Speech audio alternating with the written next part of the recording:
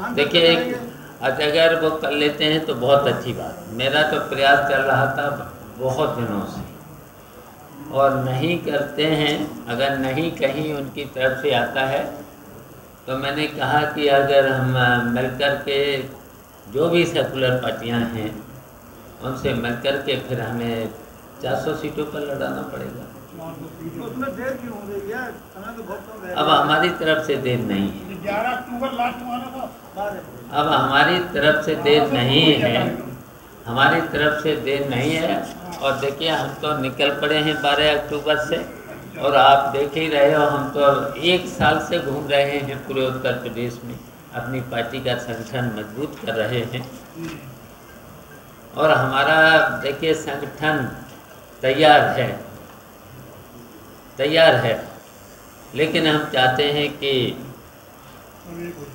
एक हो जाए।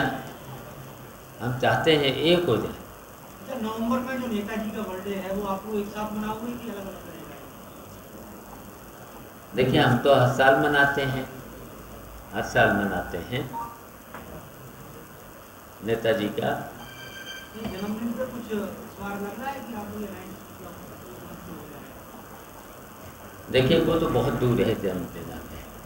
और ज़रूरत है बहुत जल्दी काम करने की। बहुत कम। जो रथ यात्रा निकालेंगे वो गठबंधन के साथ होगा या सेपरेट आपकी पार्टी का होगा? अभी प्रगतिशील समाजवादी पार्टी का सामाजिक परिवर्तन रथ चलेगा।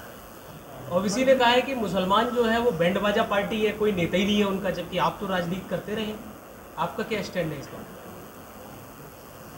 देखिए बड़े नेता हैं। और वैसे ही मैंने कहा बड़े नेता हैं सेकुलर नेता हैं। तो उन पर उनकी बात पे कमेंट मुझे नहीं करना है।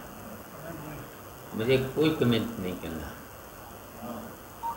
आपके सहयोगी दल जिनसे बातचीत चल रही है उनके दो चार के नाम आप ही बता दें। देखिए अभी निर्णय नहीं हुआ। है जब निर्णय हो जाएगा तो आपके सामने आ जाएगा और आपको तो हम पहले ही चुपचाप और बता देंगे।